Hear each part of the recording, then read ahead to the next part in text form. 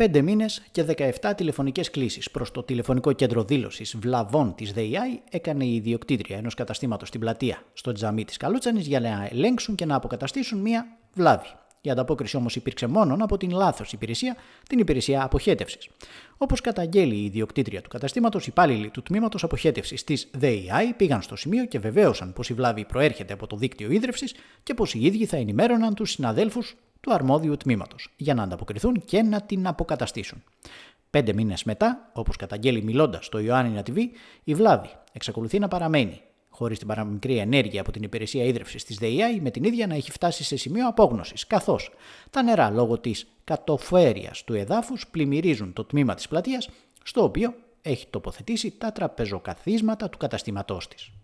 Έχω πάρει 17 φορές τηλέφωνο στη τηλέφωνα του Δήμου, σε υπηρεσίες και για την αποχέτευση και για την ίδρυυση, βλάβες ίδρυυσης.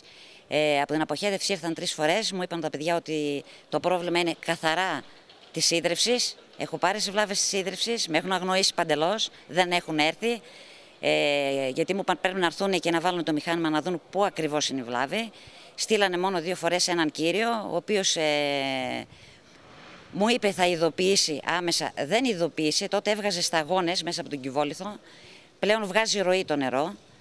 Σε κάποιες φάσεις, όταν έχει πάρα πολύ ζέστη, μύριζε ταυτόχρονα. Μυρίζει γιατί το νερό είναι καιρό κάτω και έχει πιάσει γλίτσα. Αυτά. Ναι.